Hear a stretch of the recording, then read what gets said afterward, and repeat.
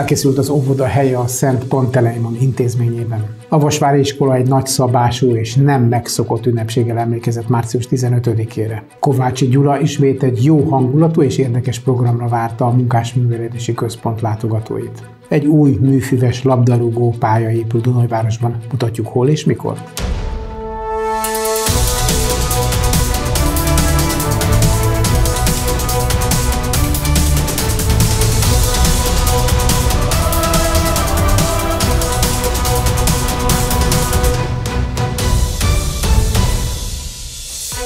Köszöntöm nézőinket, Önök a DSTV híradóját látják Dunajváros legfontosabb híreivel jelentkezünk. Kérem, hogy tartsanak velünk. Egy rövid sajtótájékoztató keretében, illetve bejáráson mutatták be az elkészült új óvodai szárnyat a Szent Panteleimon görög katolikus óvoda általános iskola épületében. Szeptembertől már három új óvodai csoporttal kezdődik náluk az új nevelési év. Aki még nem szokta meg az új elnevezést, illetve az új fenntartó személyét, az egykori Gárdonyi iskoláról van szó, ahol a következő tanévtől már óvodai neveléssel is foglalkoznak. Az elkészült munkálatokról beszéltek a múlt héten tartott sajtótájékoztatón, illetve mutatták meg a felújított óvodai helyiségeket. Ebben az évben, júliusban kezdődött el iskolánkban kettő szinten az óvoda építése, egy teljesen új óvoda készült el, a belső tér az már megvan, most már a külső munkálatok zajlanak, tereprendezés és a játszótér telepítés, de most szeretnénk megmutatni a városi lakóknak, illetve a közönségünknek a leendő ovisoknak, hogy milyen gyönyörű létesítménnyel fogunk gazdagodni. A Szent Panteleimon a görög katolikus óvoda tavaly szeptemberben megkezdte már a működését, mondjuk úgy, hogy albérletben élnek jelenleg a Dunaparti tagovodában egy csoporttal. A most elkészült beruházással három óvodai csoport készült el az egykori Gárdonyi iskola épületében, a megfelelő kiszolgáló helyiségekkel, egyetemben, tornaszobával. Ráadásul szép és igényes kivitelben, erre szokták mondani, hogy nem sajnálták a pénzt. Szoládi Zoltán arról is kérdeztük, hogy intézményük életében mekkora jelentőségű ez a változás. Szerintem mérföldkő, óriási. Azt gondolom, hogy egyrészt a gyermekutánpótlás miatt is, másrészt ilyen létesítmény Dunajvárosban nincs is, hogy óvoda, általános iskola és még alapfokú művészeti iskola is egyben. Tehát azt gondolom, hogy ez a komplexum lehetővé teszi azt, hogy ide bejön a csemete három évesen és 14 évesen megy ki, illetve plusz olyan mm, tehetségekkel is gazdagodhatunk, akik a táncban, vagy később majd az amiban énekben és rajzgrafikában is kimagaslóan ügyesek. Ez a célunk, hogy bővítsük a repertoárunkat. A Szent Panteleimon egyházi fenntartású intézmény, de Szoládi Zoltán azt is hangsúlyozta, hogy ez nem azt jelenti, hogy csak vallásos szülők gyermekei járhatnak oda. Nyitottak mindenki felé. Nyilván van egyfajta szellemiségük, elkötelezettségük, ami a napi életben is megjelenik. Ami nagy előnyünk a többi létesítménnyel, intézménnyel szemben a városban, hogy 18-20 fős osztályokkal, illetve gyerekcsoportokkal fogunk tudni üzemelni. Az óvodában is az a cél, hogy 20 főnél nagyon ne legyen több csemete egyik csoportban sem. Tehát az egykori Gárdonyi helyén új intézmény működik Szent Panteleimon néven általános iskola művészeti képzéssel és már óvodával is. Akit érdekel, keresse az intézményt, most sok nyitott programmal kívánják megmutatni magukat a Dunajvárosiak előtt. Még a holnapi napon javaslatot tehetnek, hogy kikapja a Dunajváros ifjúságáért díjat. Dunajváros közgyűlése az ifjúsági korosztály nevelésében, az ifjúságvédelemben, illetve a fiatalok számára nyújtott szolgáltatások szervezésében kiemelkedő munkát végző személyek és közösségek elismerésére alkotta meg a Dunajváros ifjúságáért díjat. Az adományozásra bárki javaslatot tehet, még pedig március 20-áig. A javaslatokat tehát március 20-áig kell írásban eljuttatni a Dunajváros polgármesteréhez. A díj odaítéléséről a közgyűlés dönt. A Vasvári iskola egy nagyszabású és nem megszokott ünnepséggel emlékezett március 15-ére a 48-as forradalom évfordulójára. Az iskola negyedik osztályos diákjainak műsora egyszerre szólt a 176 évvel ezelőtt történtekről és a jelenről. Egy nagyon érdekes párhuzammal kezdődött a Vasvári Pál általános iskola március 15-i ünnepsége.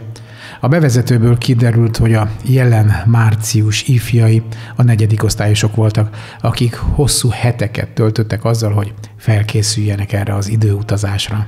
1848-ban létrejött egy közösség, a márciusi ifjak, akik összefogtak, valami nagyon jót akartak, valami különlegeset, valami szebbet. 2024-ben létrejött egy közösség a negyedikesen, három osztályból. Valami jót, valami szépet, valami újat szerettünk volna létrehozni velük. A Vasváris megemlékezés különleges hangulatú volt, mai, modern külsőbe burkolva, fiatalos hangvétellel, az előadása Red Bull Pilvacker együttes zeneire épült.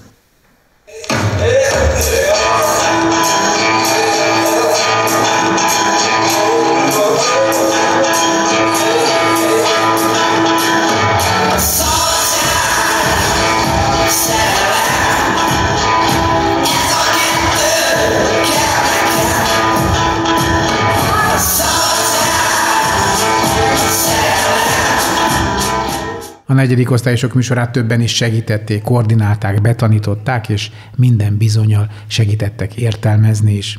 Az előadást Monás Stefánia koreografálta, a felkészülést Szabó Judit, Zsebeháziné Pinke Adél, valamint Sebestyén Marianna segítették.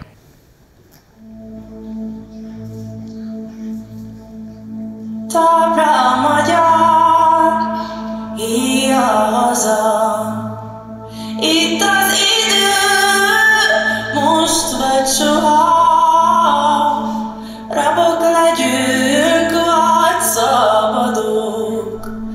Ez a kérdés válaszhatók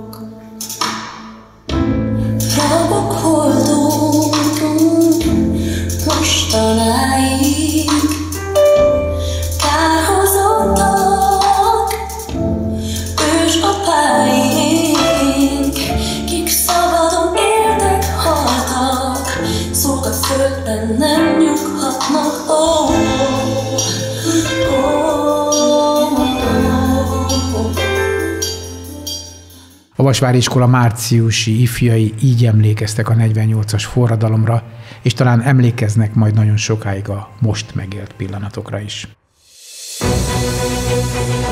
A közelmúltban Kovácsi Gyula ismét egy jó hangulatú és érdekes programra várta a Munkás Művelődési Központ látogatóit a nyugdíjas köztisztviselő zenerajongó legutóbbi előadása a Költészet a zenében címet kapta. Kovács Gyula neve mindenki számára ismerősen csenghet. A nyugdíjas köztisztviselő az elmúlt években is több előadást tartott már a Munkásművelődési Központban. A közelmúltban is egy érdekes programra várta a látogatókat. Ez alkalommal a zene volt központban. Ez a mai rendezvény valójában egy zenei délután, egy óra, és az ismeretterjesztés, ismeretterjesztés céljából tartom, mint ahogy a korábbi években is már néhány alkalommal szerepeltem. A zene most kivételesen a költészettel együtt jelenik meg, mert hajdanán ugye az ókor kezdetén a költészet és a zene egyazon műfaj volt, csak az idők folyamán önállósodtak, s váltak külön-külön művészeti ággá. Mi csak érintjük az elméletet, de többnyire zenei példák kerülnek bejátszásra. Hogy kiknek szól? Hát talán elsősorban azt kell, hogy mondjam, hogy a nyugdíjas társadalomnak, mivel a fiatalok nem igen fogékonyak a komoly zene iránt tisztelt a kivételnek. Az ehhez hasonló előadásokon elsősorban az idősebb korosztály vesz részt. Kovácsi Gyulát arról is kérdeztük, mi lehet ennek az oka, illetve kicsit távolabbra tekintve, Mennyire divatos manapság a komoly zene, vagy mennyire van jövője a műfajnak? Az én véleményem szerint elsősorban talán azért, mert nincs rá idő. Sok minden más feladata van egy fiatalnak, nem csak a tanulás, nem csak a sport, hanem a felkészülés a, a jövőre, és nem jut rá idő már. És nem, nem nagyon nehéz műfaj a komoly zene. lehet, hogy akkor a komoly zenének viszonylag hosszabb távon akkor leáldozóban van a műfaja? Természetesen nem. Azt kell, hogy mondjam, és határozott meggyőződésem, nem csak nekem, a klasszikus zene időtlen. Nincs a múló időnek hatalma felette. Ezt így fogalmazta meg egy esztétikus, Immár Beethoven szimfóniáit például 200 éve játszák változatlanul. De nem csak Beethoven, ugye Mozart, Haydn, ugye a triász, hogy említsem, és több más klasszikus mű is szerepel így. A Munkásművelődési Központ rendszeres és új látogatói ismét egy tartalmas órát tölthettek el Kovácsi Gyula társaságában. Gondolva az elmúlt évekre bizonyára legközelebb is érdekes témákkal készül majd az érdeklődőknek. Örömteli fejlesztésről kaptunk hírt Petrás Gábor jóvoltából. A Dunajvárosi Labdarúgó Szövetség egy régóta dédelgetett álma válik valóságá. Az MLS közreműködésével egy új műfüves labdarúgó pálya épül majd Dunajvárosban.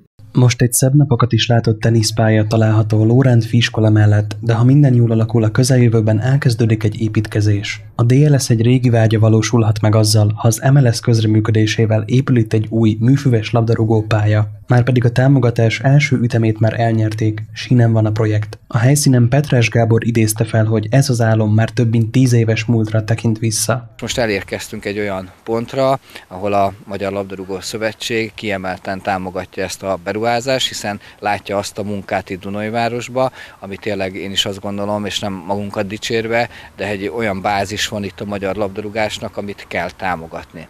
Ugye mindig az volt a válasz, hogy TAO lehetőségekkel lehetne pályákat építeni. Ugye a Dunás Labdarúgó Szövetség nem TAO támogatott, nem élvezi ezeket a, az előnyöket, úgyhogy ezért is nagyon nagy szó, hogy a Magyar Labdarúgó Szövetség és a Fehér megyei igazgatósága pontot tett erre a végére, és egy nagyobb beruházást próbálunk megvalósítani. Petrás Gábor elmondta továbbá, készíteniük kellett egy szakmai anyagot, amely tartalmazta például a projekt becsült árát is. 100 millió forintra lenne szükség ahhoz, hogy elkészüljön az új pálya, öltözők, zuhanyzók, mosdók, esetleg egy apró büfé. Az első ütemben a szövetség közel 40 millió forinttal támogatta a projektet, a szükséges papírmunkák és engedélyek elkészültekor ebből az összegből a pálya valósulhat meg. 100 millió forintos támogatást kértünk a Magyar Labdarúgó Szövetségtől, és október végén egy elnökségi ülésem 40 millió forintos támogatást kapunk. Én azt gondolom, hogy ez az első ütem, ez, ez nagyon jó lesz, hiszen a,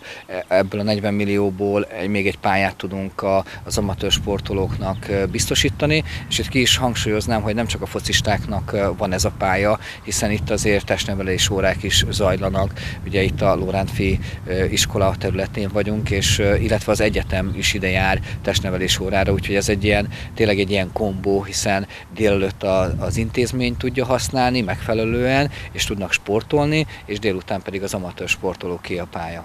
Ha minden jól megy az építkezés, vélhetően nyáron vagy nyár után kezdődhet meg, és ha tényleg minden a tervek szerint halad, akkor a 2024-25-ös szezonban az új pályán is játszhatnak majd a labdarúgók tervek szerint ez lesz a menete. Ugye látjuk azt, hogy azért nagyon sok papírmunka van, hiszen ugye a centrumnak is a jóváhagyása, a beleegyezése is kell, hiszen ővéké a használatbevételi ö, ö, tulajdon, ezért ugye sok mindennek meg kell felelni, mindegy beruházásnak, és bízunk benne, hogy 24-25-ös szezont legalábbis a végét már biztos, hogy itt szeretnénk befejezni.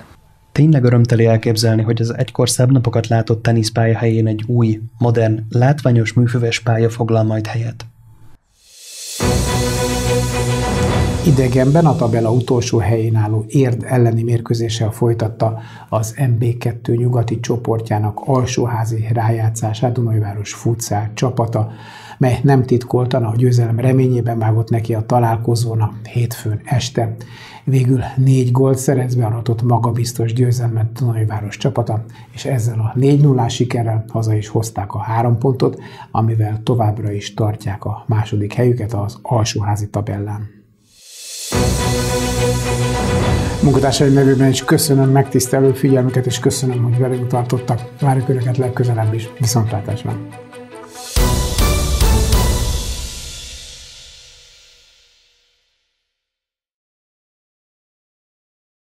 Készült a Médiatanács támogatásával a Médiatanács támogatási program keretében.